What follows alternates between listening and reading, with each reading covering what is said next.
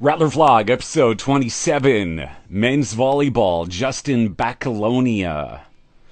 Now, we've had lots of uh, current players, we've had alumni, we've had coaches, we've had a lot of different things, but I don't think we've ever had one of the new prospects. So let's get him on right now. Let's talk to Justin and find out a little bit more about one of the uh, faces of the future of Rattlers men's volleyball.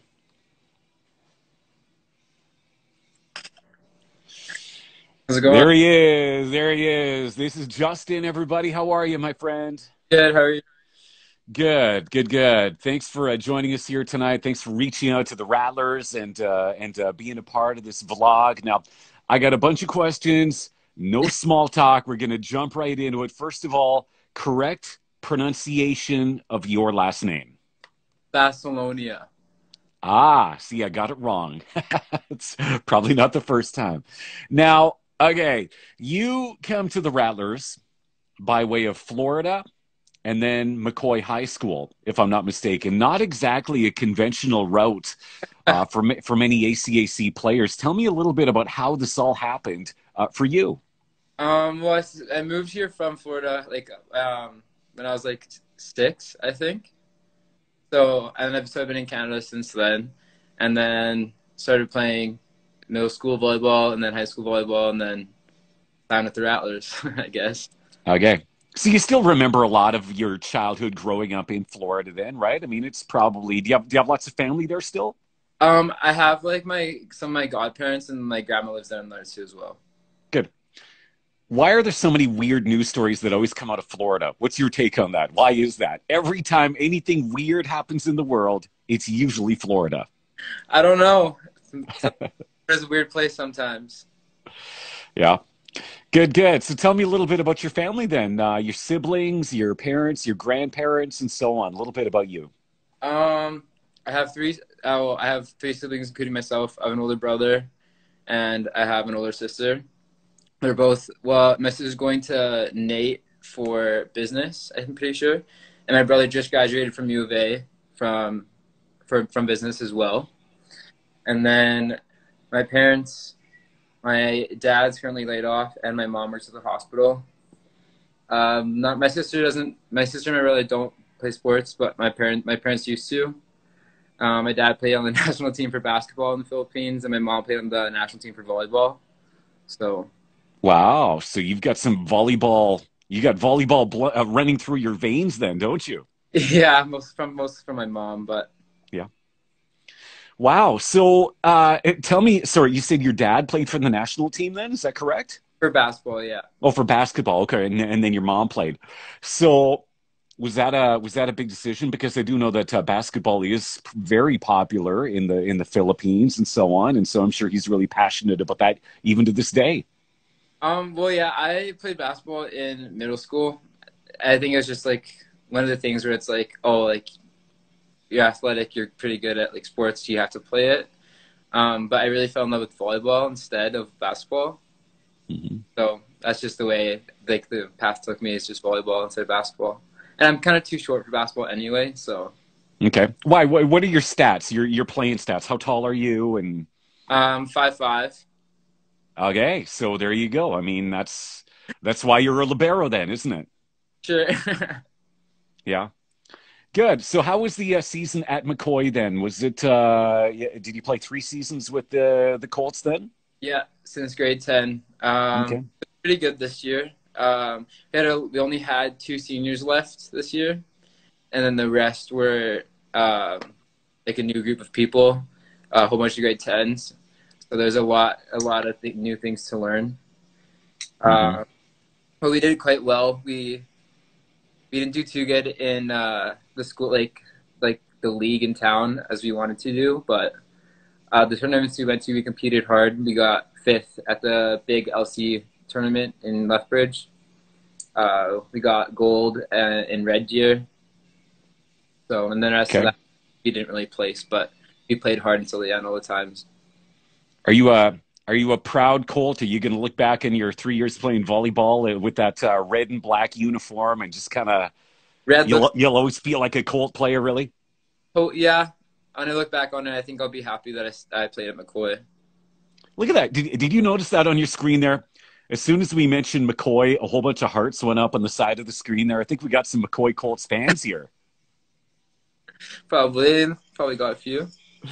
Yes, uh, probably. I think I saw Kennedy Weary on here earlier. I would imagine that that could have been her, but uh, it's uh, tough to say uh, in that regard. So, so what do you what do you enjoy about playing libero? I mean, it's it is one of the more challenging uh, positions to play in volleyball. You got a lot of responsibility there. Why do you enjoy that position so much? Um, well, I think I get it really. It's like a really fun to like dig a really hard ball because anyone can like hit a like a T line ball all any day, but not everyone can dig a ball. Okay. I don't know the rush of like just having like the authority to control people in the back row of like how defense should be and just like taking initiative is just like the rush just like keeps you going. I don't not too, I don't really know. The, mm-hmm. the passion's just there. Is it is it safe to say that for most volleyball teams, the libero is kind of the quarterback? You are kind of directing traffic on the court there. Would you would you say that's true? Um, defensive wise, yeah. Um, always just like knowing where everything, like what the how, like how the play is happening, how um where the blockers are, where the hitters are, just like coordinating where like where to go and everything. But offensively, I think the setters like the quarterback, I guess you could say, because they they mostly like run the run the show. So yeah, and libero can be a scary position to play too, can't it? Definitely, I'm an undersized libero. That's for sure. so it's it's a little intimidating, but you just have to know that you have to trust yourself and know that you're good enough to be on the court. So, have you ever taken one square off the melon? Definitely this club season. How embarrassing is that? I mean, pretty embarrassing. So because because let's face it, if you're playing the opposition and their libero takes one off the melon, your whole bench is laughing. The whole team is like just pumped up because of it. It it can really shift the momentum. Definitely. Uh, of a set, can't it? Crowd goes wild because they love it and they just think it's a huge play. So everyone's just everyone's just looking at you. So. But does it hurt? Like right off the nose, it's got to hurt. Not for me, not really. I don't really know why. I think it's just like the adrenaline just kicks in. It's just like, oh crap, that just happened, and then I just clear out of my mind, just go on to the next play. Well, okay, go like this. Let's see the side profile. see, I got a bigger nose than you, so it would probably hurt me more than it would you anyway. So, yeah, that's awesome. All right. So, uh, did you have a chance to see many of the men's Rattlers volleyball games this season? Um, not too many of them because uh, I traveled. To, I played uh, club in Lethbridge. Okay. So every single time they had a home game, I'd be gone because I was in Lethbridge like five out of like the seven days a week. Um, so like, so like I would, I only saw a couple of the games if they're like, um, like on the weekends, mm-hmm. like every other weekday. But so what what do you know about this team that you're coming into, and uh, what what do you think that you are going to add to this team? I love the group of guys. I practiced with them a whole bunch. Um, they're all really nice. They're all they all they really bring you in like as like a family member really quickly. Um, I just think I could I I would bring like obviously the defense part of it. Um, I'm really loud on the court, and I know like I read okay. the play is really well. So like just knowing where like that hitter is gonna go is just I think I have like more of an advantage than most people. And I if I take a ball to the face, it doesn't really affect me that much. So that sort of thing. Just just shake it off and and move forward, right? Don't even worry about it. Yeah, for sure. Looks like we got Looks like we got a little bad connection here. Let's give it a second to uh, reestablish and so on here. All right. Okay, so when you say that you're a loud player on the court, uh, you mean that when you're waiting for the opposition to serve, you're you're chatting each other up, you're building each other up, you're encouraging them. Is is that what you mean by a loud player on the court? For sure. Just so like calling seams, being talkative with the boys on the court, seeing like two blockers up, one blocker up, calling the shots they have on the like they have line cross, roll shot tip, anything on there. Just really like like sc- scanning the other side of the court and then taking the initiative to yell out what they have open, or just saying what seams you have all the time, um, or just say like, um, we're down a little bit. I'll be like the loudest one. I'll, I always try at least to be the loudest one on the court to hype everyone else back up. But other than that, that's really how like I'm really on the court too. like, right. Eh. So, so when you're waiting for the serve, you're observing, you're looking for just little pieces of information exactly that could that could be vital for for your team. exactly. And do you often point out things that the other guys might not even notice? Yeah, so like some people will be when when we're getting service receive, you might see that one of the players on the other side cheating in a little bit because they might be keying a hitter already. Yeah. Um, so I always tell the boys, "Oh, you already have the libero already on the T line there. Probably reverse the ball and then hit it cross court, so the libero wouldn't be able to get it or something like that." Or if I see like on serve receive, if they're keying, um, if they're keying one of the players already, and they're cheating to one side, I'll say you'll have three blockers up on you already, and then that just set a note to reverse the ball or set somewhere else where the blockers aren't stacking them. All right. So that's what you offer on the court. What kind of player are you in the locker room? You know, are you are you a leader? Are you the guy to to to you know give that pep speech you know before the game and get all the guys together and just kind of be the leader uh, in that regard? I mean, being a new player, you're not going to have that role straight up. But back in McCoy, is that the kind of guy you were? Yeah, so I was I was a captain for uh, all three years. Um, Even Yeah. in grade ten, you were the captain. um, not for the senior team because I played on the senior team and the Ah. Team, so I was the captain JV for JV, and then my grade eleven, grade twelve year, I was captain both years. But I was kind of like Mhm. co-captains my grade ten year on the senior team, just because I was the setter. Okay. Um, when I said I was loud, I think that's another thing too. Is that like I can take initiative of like hyping the boys up in the locker room, not even just like on the court. Um, but I definitely respect who who like the, like the seniors, obviously, who can obviously do that um, themselves. But I always try to be like helping the boys get to get hyped up before a game as well. Do you help keep them loose a little bit as well? I mean, the the men's volleyball team this year they started strong, but they had a real slump a couple of games in, and it seemed like they had a tough time kind of hitting their stride for a while there. I think there's a lot Um, season with uh, with everything going on. I think they lost a couple of players as well mid mid midway through. So I think it was it was a little hard getting their rhythm back in. So like, I think they just need they it was hard for them to like refocus and like relearn everything about a couple players or like a couple key things in the game. So I think bring coming into this season that we we all know what we want and we all know what to do this season and like how to better ourselves. what did Coach Tyler offer you that made you said, "Yup, Rattlers is the team for me"? Did he say? Did he say, "All right, all right, Justin, you can have whatever number you want on the court"? You could like, what, what, what does he do to get that commitment from you to come to this team? Because I mean, you could have gone to a number of other teams, I'm sure. Yeah, for sure. Um, Tyler, Tyler's just a great guy, and Tyler, me and Tyler work together at Sport Chek, and he's always just he's always like have has always followed my volleyball path, Mhm. and he's he's know he knows a lot about me. Um, and we always when we always sat down after practices or when we had our meeting before I signed, he was always saying um, how I always like I'm a great player on the court and off the court, and how I just loved how we were already close, and I knew he knew a lot about the game already, and especially since he just graduated from the Medicine Hat College, he knows how to like win, and he knows like the things to do to win.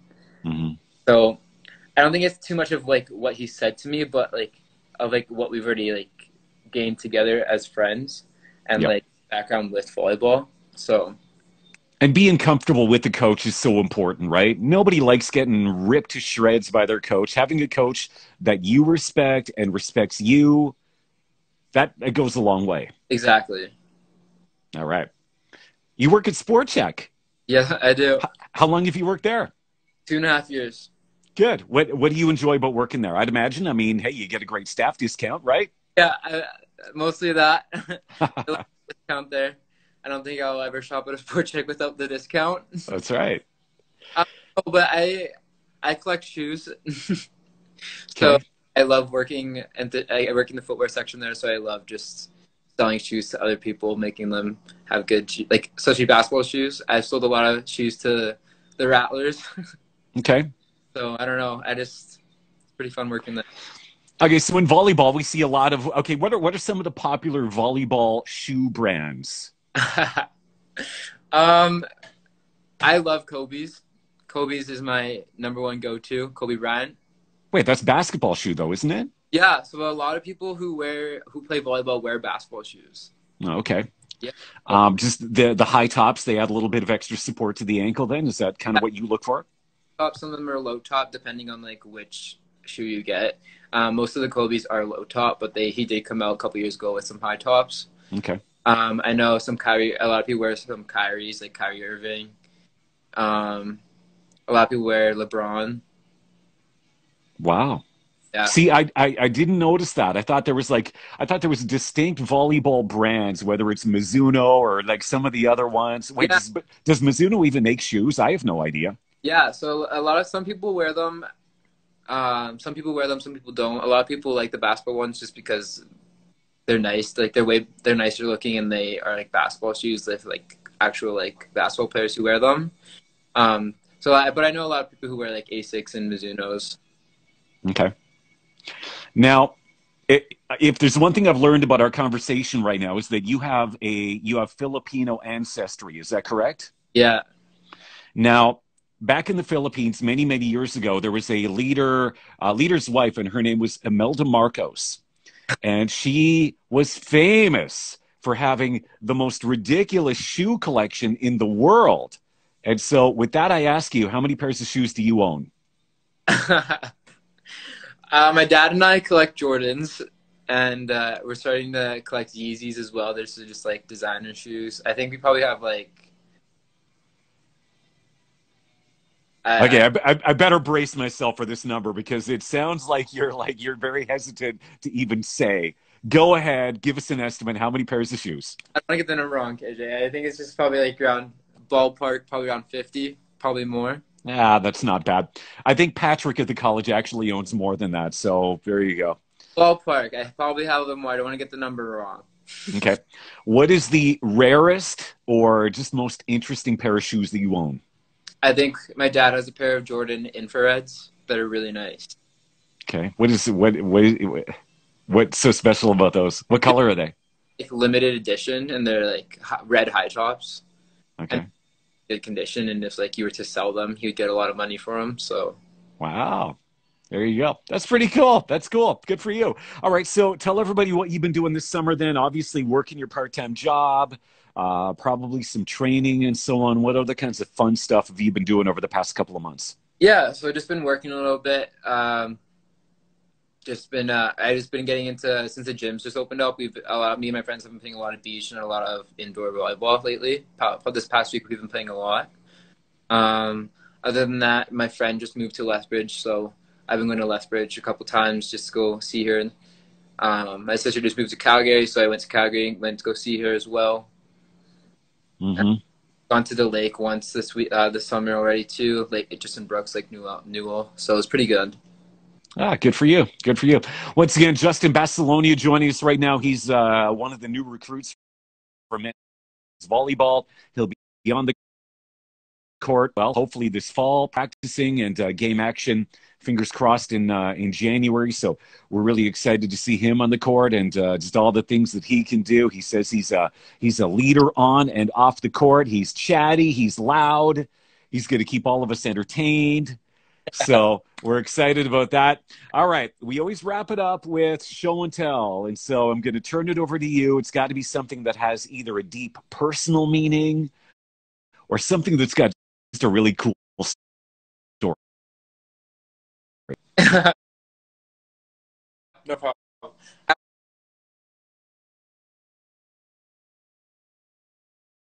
actually wear it all the time. I don't know if you can see that. It's a religious, it's a like Catholic thing. It's called a scapular. Okay. Um, I always wear it even on and off the court all the time. I can just leave it out. Okay. And it's a Catholic things called scapular. My grandma brought it from the Philippines and it was blessed by like a priest. I just wear it just because it's like something to like protect me, I guess, because um, we come from a really Catholic family. Okay. So what what what does what does your Catholic uh, uh, faith mean to you, and what what how do you think it benefits your day to day life? Um, well, with everything going on right now, I think just like he like like God leads us in like the right path all the time. Like that's what we believe. He, he'll always lead us in the right path. Always keep us like safe and healthy. Um, it's actually been a big thing as well because my dad, my dad was sick. He had a kidney failure, and so we just believe like, and we always prayed for him as, as well. So, um, and he got through it. He finally got a kidney a kidney transplant, and he's he's well, and he's um, on his feet all the time, always biking. So I think it's gone a long way, like in that sense. I think that's one of the reasons why I wear these is just because like it's just like a miracle happened in front of our eyes, and like I we believe that God is true and that He'll always keep us safe and healthy all the time. So awesome. Awesome. Very well said. Justin Bacelonia joining us right now. Uh, do you know what number you're going to be wearing this year for the Rattlers? I am wearing Kobe's number, Kobe Bryant's number, number eight. 24. Oh, eight. Okay. numbers, but 24, we, numbers don't go that high. I kind of, kind of go eight. Okay, wait, wait, wait, wait, wait. Is that is that a volleyball rule? You can't have a number over a certain thing. Like I, I think I, I just think we don't have the jersey 24. I okay. It only went to 18, I believe. Okay. Yeah, so I think I put eight because I don't think there was a 24. So you might want to check up on that, my friend. Why? Because eight is a retired number. Oh. Or an honored number. I'm not really sure, but oh, right. There's, a, banner up in the court that says Bell number eight. Yeah. And so you you you might have to make a phone call to uh, his parents and tell them a little bit about yourself and then ask them if you can wear that number. You know what I mean? I'm sure they would, but you know, sometimes that's how sports work when you want that number, right? Right. I forgot about that because they were honoring him because didn't he pass away and he was part of the men's volleyball team? Yep. Right. Exactly. So there you go. That's what I would recommend. I'd recommend you somehow get a hold of his parents and just kind of introduce yourself and and uh, I'm sure they'd have no trouble with it. But I think that's kind of the right thing to do, isn't it? Yeah, I totally forgot about that as well. I forgot when we were choosing numbers that number eight was an honored number. Yeah, but hey, you know what? It sounds like you're the perfect guy to, uh, you know, to, to, to wear that number, right? So I know he was a special guy, and it sounds like, uh, you know, you're going to be a special player on the court to watch as well. Everybody, Justin Bacelonia joining us right now. Watch for him. Libero men's volleyball this upcoming season. We're so excited. Congratulations uh, on on being a new student at Medicine Hat College. It's a, it's a great facility. It's a great college. Uh, it's it's a family you know, the team is a brotherhood in so many ways, and uh, we just want to welcome you to the team. Thank you so much. All right, there he goes. Take care, my friend. Justin Bacelonia, right there. All right, hey, I'm impressed by that guy. I don't know about you guys, but I think he's uh, he he's definitely going to be a treat to watch this year. Uh, it's great to learn a little bit about these players, uh, you know, and kind of what they're like in their personal life, and that is the whole point of this series is to to get to know you guys a little bit more uh, student athletes and coaches and alumni and, and new recruits and so on. That's what it's all about right there. So there you go, guys. Thanks for watching tonight. And if I'm not mistaken, I think we got another one coming up tomorrow. So we'll keep an eye on the Rattlers Facebook and Instagram tomorrow morning.